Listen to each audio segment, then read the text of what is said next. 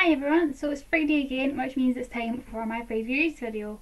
So this week I actually didn't read um, any of the books that I planned on reading last Friday because I kind of went on a new adult kick and read quite a lot of new adult books this week.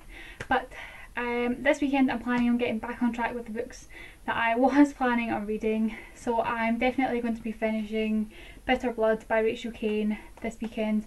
I don't have very far to go in it. I've just over 100 pages or something to go in it and I really want to get it finished this weekend. And this weekend I will also be starting Game of Thrones by George R. R. Martin. I am determined that I'm going to read this this month. So as soon as I get Bitter Blood finished, I am making a start on this one. So that's the books I'm planning on reading this weekend. What books are you guys planning on reading? Let me know in the comments below.